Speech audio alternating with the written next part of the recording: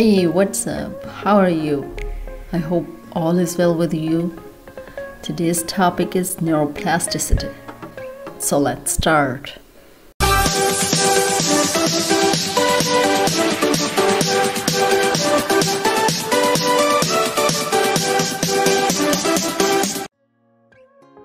The brain is flexible the control of some specific bodily functions, such as movement, vision, and hearing, is performed in specified areas of the cortex. And if these areas are damaged, the individual will likely lose the ability to perform the corresponding function.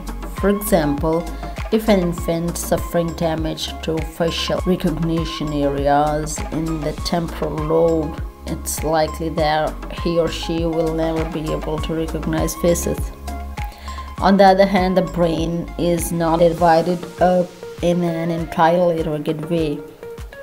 The brain's neurons have a remarkable capacity to recognize and extend themselves to carry out particular functions in response to the needs of the organism and to repair damage as a result, the brain constantly creates new neural communication routes and rewires existing ones. Neuroplasticity refers to the brain's ability to change its structure and function in response to experience or damage. Neuroplasticity enables us to learn and remember new things and adjust to new experiences. Our brains are the most plastic when we are young children, as it's during this time that we learn the most about our environment. On the other hand, neuroplasticity continues to observe to to continues to be observed even in adults. The principles of neuroplasticity help us understand how our brains develop to reflect our experiences. For example, accomplished musicians have a large auditory cortex compared with the general population and also require less neural activity to move their fingers over the keys than do novices. These observations reflect the changes in the brain that follow our experiences. Plasticity is also observed when there is damage to the brain or to parts of the body that are represented in the motor and sensory cortexes. When a tumor in the left hemisphere of the brain impairs language, the right hemisphere will begin to compensate to help the person recover the ability to speak. And if a person loses a finger, the area of the sensory cortex that previously received information from the missing finger will begin to receive input from adjacent fingers, causing the remaining digits to become more sensitive to touch. Although neurons cannot repair or regenerate themselves as skin or blood vessels can, new evidence suggests that the brain can engage in neurogenesis the forming of new neurons. These new neurons originate deep in the brain and may then migrate to other brain areas where they form new connections with other neurons. This leaves open the possibility that someday scientists might be able to rebuild damaged brains by creating drugs that help grow neurons. Now let's talk a little bit about psychology in everyday life. Why are some people left-handed? Okay, here we go. Across cultures and ethnic groups, about 90% of people are mainly right handed, whereas only 10% are primarily left handed. This fact is puzzling in part because the number of left handers is so low, and in part because in other animals, including our close primate relatives, do not show any type of handedness. The existence of right handers and left handers provides an interesting example of the relationship among evolution, biology, and social factors, and how the same phenomenon can be understood at different levels of analysis. At least some handedness is determined by genetics. Ultrasound scans show that 9 out of 10 fetuses suck the thumb of right hand, suggesting that the difference is determined before birth and the mechanism transmission has been linked to a gene on the X chromosome. It has also been observed that left handed people are likely to have fewer children, and this may be in part because the mothers of left handers are more prone to miscarriages and other prenatal problems.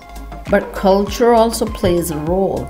In the past, left handed children were forced to write with their right hands in many countries, and this practice continues, particularly in collectivistic cultures such as India and Japan, where left handedness is viewed negatively as compared with individualistic societies such as the United States.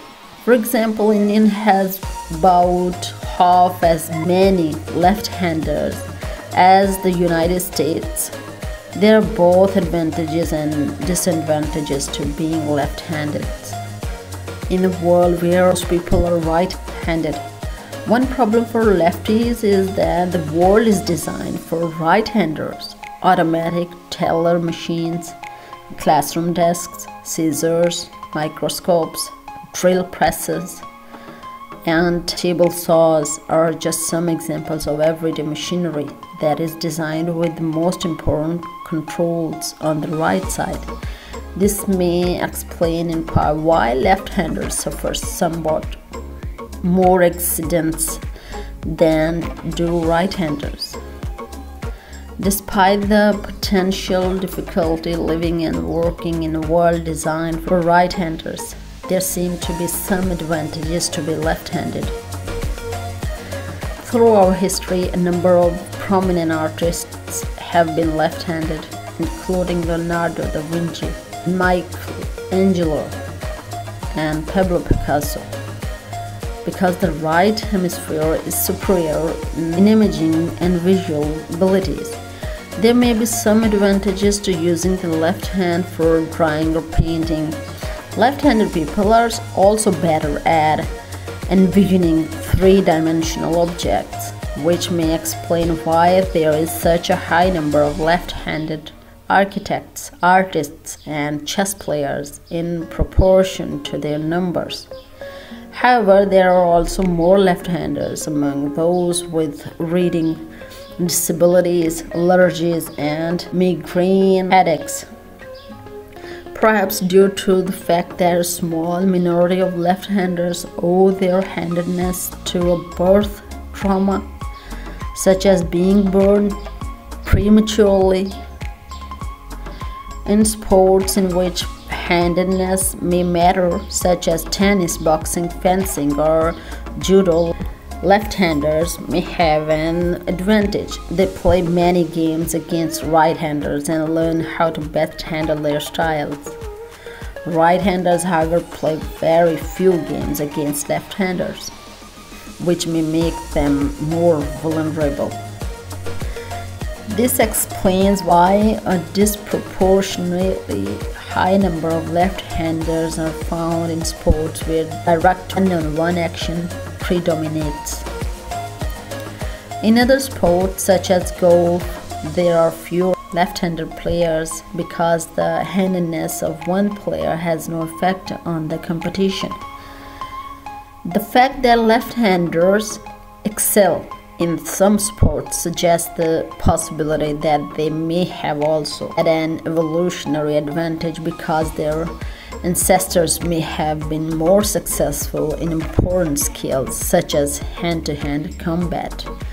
At this point, however, this idea remains only hypothesis and determinants of human handedness are yet to be fully understood so this was our today's lesson from psychology and as you know we are discussing brain functions these days.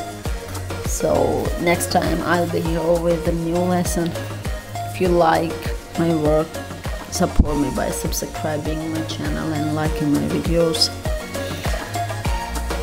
Thank you for listening to me. Take care. Bye